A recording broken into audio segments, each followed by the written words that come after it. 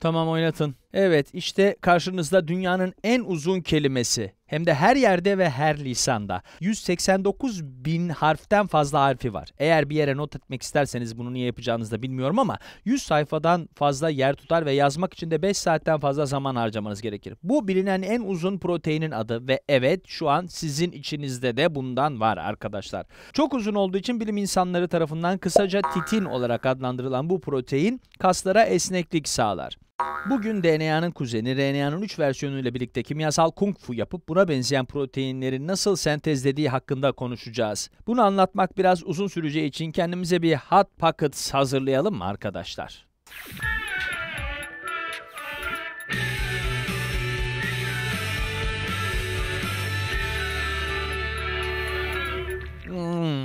Benim favorim bu. Salamlı peynirli. Her ısırdığımda bunu nasıl yaptıklarını daha da çok merak ediyorum. Yeni yani karton paketin içinden çıkan folyoya sarılı bu yiyeceğe benzeyen şeylerin hepsinin tadı nasıl da aynı oluyor. Nerede olduğunu sadece kişinin bildiği gizli bir yerde saklı bir tarif defterleri olmalı. De, demişken ve hazır biyolojiden bahsediyorken aklıma bununla ilgili bir soru geldi. Sizce şu ana kadar bahsettiğim biyolojik molekül ve DNA'lardan nasıl olduğu da ben meydana geldim? Evet arkadaşlar bugünkü konumuz ne yazık ki hot pockets ya da bir kişi değil. Bugün bizi leziz canlılar yapan DNA transkripsiyon ve translasyonundan bahsedeceğiz. Bu arada umarım kimse insanların ne kadar leziz olduklarını bilmiyordur. Hayvanlar, bitkiler ve hatta hot pocket'lar bile. Aslında belli oranlarda ve kesin talimatlar altında bir araya gelmiş tuzlu su, karbonhidrat, yağ ve proteinden başka bir şey değiller bu arkadaşlar. Şimdi eğer kendi hot pocket'ımı yapmak istesem bunun için bir tarif defterinin saklı olduğu hot pocket fabrikasına gizlice girmem. 2. Hot pocket yapmak için gerekli olan malzemelerin ve içine koyacağım malzemelerin oranlarını öğrenmem. 3. Hot pocket polisleri beni yakalamadan tüm bu bilgileri hızlıca bir yere not etmem. 4. Eve geri dönüp kusursuz hot pocket'ı yapana kadar tarif defterindeki talimatları, talimatları aman söyleyemedim izlemem gerekiyor. Bu anlattıklarım bizim nasıl yapıldığımıza da çok benziyor. Bir hücrenin çekirdeğindeki DNA tarif defterindeki bir tarif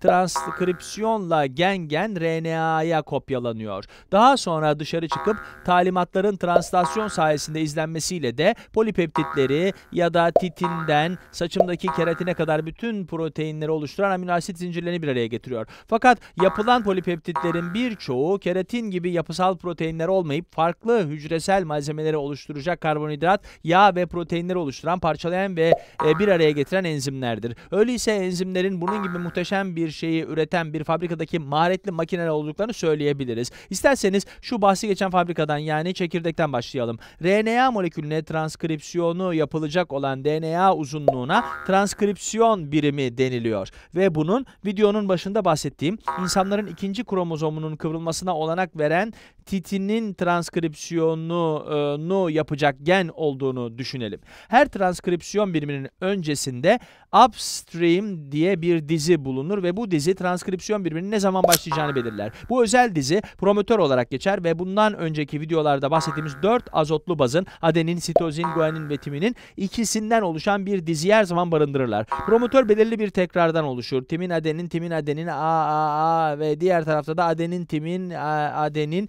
Bunun nasıl işlediğini biliyorsunuz değil mi? Buna tata kutusu diyoruz arkadaşlar ve enzimler bu sayede dizilime nerede bağlanacaklarını anlarlar. DNA'nın yapısı e, videosundan DNA dizilimlerinin hangi ucun boş ve hangi ucun fosfat bağına sahip olduğuna bağlı olarak iki yönlü olduğunu hatırlayacaksınız. Yönlerden biri 5 üssüden 3 üssüye, diğeri ise 3 üssüden 5 üssüye gidiyordu. Bu durumda upstream 3 üssü uca, downstream'de 5 üssü uca doğru anlamına geliyor. Bu süreçte ilk enzim RNA polimerazdır ve DNA'nın tata kutusundan downstream yani 5 üssü uca doğru olan dizilerini mesajcı RNA'ya kopyalar. Bu noktada DNA'yı okuyacak enzim içinde bir enzime ihtiyacımız olduğunu yani bir nevi bir tavuk yumurta hikayesiyle karşı karşıya olduğumuzu anlamışsınızdır. DNA'yı yapmak için enzime, enzimi yapmak için de DNA'ya ihtiyacımız var öyle değil mi? Peki eğer bu enzimi biz sentezleyemediysek bu RNA polimeraz nereden çıkmış olabilir? Muhteşem bir soru. Bu gibi temel ihtiyaçlar sağlıklı bir başlangıç yapabilmemiz için yumurtasına DNA'sından fazlasını koyan annelerimiz tarafından karşılanıyor. Teşekkür ederim anneciğim. RNA polimeraz Tata kutusunda DNA'ya bağlanıp çift sarmalı çözmeye başlıyor. Enzim DNA zincirinde hareket edip az önce gördüğümüz harflerden ibaret olan azotlu bazları okuyor ve çekirdeğin içinde dolaşan azotlu bazların RNA versiyonlarının çiftlerini bulmalarına yardım ediyor. Bir önceki videodan e, azotlu bazların hepsinin bir karşılığı olduğunu ve sadece bu bazla bağ yapabildiklerini hatırlıyor olmalısınız. Ama burada pembeyle gösterilmiş RNA'da mavi ve yeşille gösterilmiş RNA'da olduğu gibi timin azotlu bazı yoktur. RNA'da bunun yerine urasil bazı bulunur. Bunun içinde adenine destek olmak için sahneye timin yerine urasil çıkar. RNA polimeraz ilerledikçe DNA arkasından kapanır ve ortaya mesajcı RNA'nın yeni dizilimi çıkar. En sonunda da downstream'de yine belirli bir dizilimle yani bir sonlanma sinyaline rastlayan mesajcı RNA artık sahneden inmesinin vaktinin geldiğini anlar. Tabii ki bu bilgi dizisi fabrikayı terk etmeden yapılan bazı son dokunuşları içerir. Öncelikle 5 üssü uca özel bir guanin tipi eklenir. Bu mesajcı RNA'nın e, kopyalanan ilk kısmı ve buna 5 üssü başlık deniliyor. Yani 3 üssü uçta ise farklı bir enzim. Sanki parmağım klavyenin A tuşu üzerinde basılı kalmışçasına 250'ye yakın adenini diziye ekler. Buna da poli A kuyruğu adı verilir. Mesajcı RNA'nın iki ucuna eklenmiş bu başlıklar hücrenin hücreden çıkışı kolaylaştırırken yakından geçen farklı enzimlerin RNA'yı yıkıma uğratmasını engeller ve RNA'nın farklı organellerle bağlamasını kolaylaştırır. Ama burada bitmiyor. Orijinal tarif defteri gizli hat bakı tarifini korumak için bazı kafa karıştırıcı bilgiler de barındırır. Bu ekstra bilgi çekirdekten çıkmadan hemen önce RNA'dan uç birleştirme işlemi sonucu çıkartılır. Aynen bu videoyu editlemeye benzeyen bu işlem gerçekten de çok karmaşıktır. Ama yine de bu işlemde başrolü oynayan havalı aktörlerden bahsedeceğim. İngilizcesi küçük nükleer ribonükleoproteinler anlamına gelen SNRPs ya da SNRPS'ler. Bir RNA ve protein kompleksi olan bu moleküller kesilecek kısmın başlangıç ve bitişini belirleyen dizileri tanımlar. SNRPs'ler birkaç farklı proteinle daha birleşerek asıl editlemeyi yapan splisozomları oluşturur.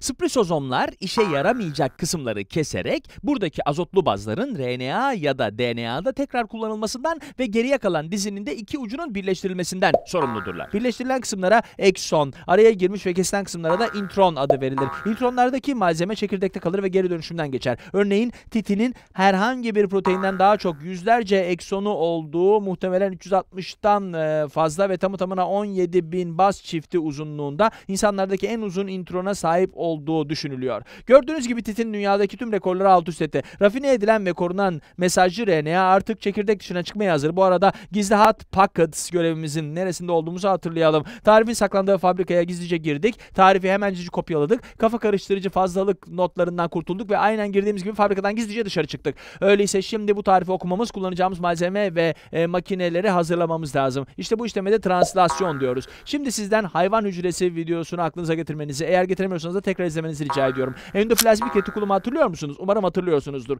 Zarın üzerindeki o minik noktalar eski dostumuz ribozomlar. Mesajcı RNA'da aynen banka kartınızı ATM'ye yerleştirdiğiniz gibi ribozomlara yerleşir. Ribozomlar protein ve ribozomal RNA ya da rRNA adı verilen farklı bir RNA birleşmesinden oluşur. Ribozomal RNA'lar işleme herhangi bir genetik malzeme eklemez. Ribozoma gelen mesajcı RNA'nın 3. tip RNA yani taşıyıcı RNA ile etkileşime girmesini sağlayan bağlanma alanları vardır. Bu arada taşıyıcı RNA'ya translasyon RNA'sı deseler hiç de fena olmaz. Çünkü tRNA translasyonu yapan yani nükleotit dilini amino asit ve protein diline çeviren moleküldür. tRNA'nın bir ucunda bir amino asit, diğer ucunda ise 3 azotlu bazın özel bir dizilimi vardır. Bu iki ucun birbirine karşılık geldiğini düşünün. Vücudunuzda bulunan 20 amino asidin hepsinin diğer ucunda kendine özel bir dizilim vardır. Örneğin tRNA eğer metionin amino asidine sahipse diğer ucunda UAC dizilimi bulunur. Sıra geldi puzzle'ı yapmaya. mRNA ribozomun içinde kaymaya başlar. Ribozom her seferinde 3 harf olacak şekilde mRNA'yı okur.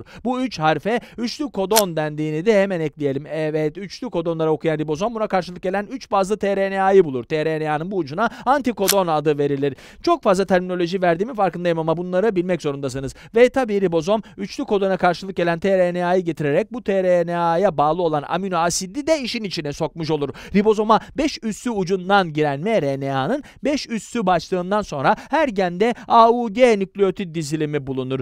Ribozom antikodonu UAC olan bir tRNA bulur ve bu tRNA'nın amino asidi de metionindir.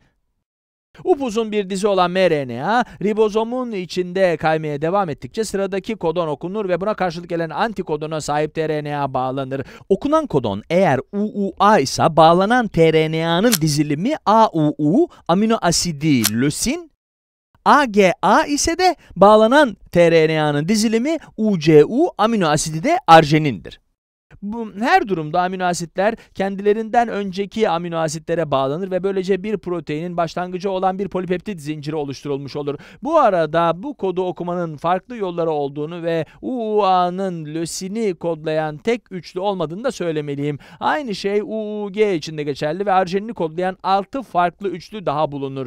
Bunun bu şekilde olmasını olması yani aslında iyi bir şey ve bu sayede DNA kopyalanması, transkripsiyonu ve translasyonu sırasında oluşabilecek birkaç hata son ürünü değiştirmez. İşlem mRNA'nın ribozomda kaymaya devam etmesiyle ribozomun belirli bir amino asidi olan bir tRNA'yı getirmesi, bu amino asidin zincire bağlanması ve bunun defalarca tekrarlanması şeklinde devam eder. Zaman zaman tek bir polipeptit zinciri için binlerce amino aside ihtiyaç vardır ki mesela bu titinin kendini meydana getiren 34.350 tane amino asidin isminin yan yana yazılımıdır. Şimdi kendi hat paketimizi yapmadan ve bahsi geçen gen dizisi kas dokusu dokusu haline gelmeden yapmamız gereken bir katlama işlemi var. Bunun sebebi alabildiğine büyük moleküller olan proteinlerin çok karmaşık ama bir o kadar da sevimli formasyonlara bürünü, bükülebilmeleridir. Proteinlerin nasıl çalıştığını anlamak için nasıl katlandığını anlamak esastır ve bu konu çok uzun yıllardır protein katlanmasını bilgisayar programını kullanarak araştıran bilim insanlarının gündemini meşgul ediyor. Aşağıda geçişini izlediğimiz amino asitlerin bir polipeptitteki asıl dizilimlerine primer yapı adı verilir. Tek bir sıra halinde birbirine kovalent bağla bağlanmış amino asitler. Ama bazı seçici amino asitler var ki iki farklı amino asit el ele tutuşmak istemez. Amino asitlerin temel omurgasında bulunan hidrojenler zaman zaman yana doğru uzanan birkaç kapı aşağıdaki amino asidin oksijenleriyle hidrojen bağları kurar. Bu meydana geldiğinde de primer yapılarına bağlı olarak eğilir bükülür ve sarmal adını verdiğimiz zincirlere kıvrılırlar. Birbirine paralel uzanan ve beta ya da katlanmış yapraklar adı verilen protein yapılarıyla karşılaşmak da mümkün. Ve bu katlanmış yapraklarla hidrojen bağları örneğin ipeğin güçlü bir yapıya sahip olmasını sağlarlar. Evet, seçici amino asitler bu kırışık yaprakların oluşmasına sebep olur. Hı hı. Bahsi geçen hidrojen bağları polipeptitlere ikincil yapılarını sağlarlar ama her şey tabii ki bununla da bitmiyor. Amino asitleri tanımlayan R gruplarını hatırlıyor musunuz? Bu gruplardan bazıları hidrofobdur ve amino asit çoğunluğu sudan meydana gelen hücre içinde bulunduğu için bu hidrofob gruplar e, bir araya gelerek sudan kaçmaya çalışır ve zincirin daha da bükülmesine sebep olurlar. Diğer R grupları ise hidrofildir ve diğer hidrofil R grupları ile hidrojen bağı kurmaya bayılırlar. Bu yüzden de daha bükülen, kıvrılan ve e, e, eğilen çizgi halindeki yapılar çok ama çok daha karmaşık 3 boyutlu şekiller alırlar. Bu arada yataktan kalktığım zaman dimdik olan saçlarıma suyla şekil verebilmemin sebebi de budur. Su keratinin içindeki bazı hidrojen bağlarını kırar ve keratinin yapısını esnetir. Bu sayede taradığım saçım kuruduğunda bağlar yeniden kuruluyor ve işte size muhteşem saç. R gruplar arasında kurulan bu bağlar polipeptitlere üçüncül yapılarını verirler. Elimizde inanılmaz derecede ama son derecede titiz bir şekilde bükülmüş bir polipeptit zinciri var. Protein ya da enzimler zaman zaman tek bir zincirden meydana gelirken hemoglobin gibi proteinler birkaç tane zincirin bir araya gelip dördüncül yapılar oluşturmasıyla ortaya çıkar. Şu yapıları bir kere daha gözden geçirelim mi? Diziler primer ya da birincil yapılardır. Yapraklar ve spiraller oluşturan hidrojen bağlarının omurgası ile ikincil, R grubu bağlarıyla üçüncül ve birkaç proteinin bir araya araya gelmesiyle de dördüncül yapılar oluşur. Ekranda geçip duran ve kaslarınızda bulabileceğiniz sitin gibi polipeptitler yapısal proteinlerken bir de enzimler vardır. Enzimler bir şeyler yapmayı çok sever. Mesela şu an benim yaptığım gibi biyolojik şeyleri kesebilir, karıştırabilir ve bir araya getirebilirler. Evet, gördüğünüz gibi tek bir tarif defterindeki malzeme ve yöntemleri kullanarak bir hot pocket'tan çok daha havalı olan bir şeyi yani beni yapabiliyoruz. Hot pocket'tan daha havalı olduğuma siz de katılıyorsunuz umarım.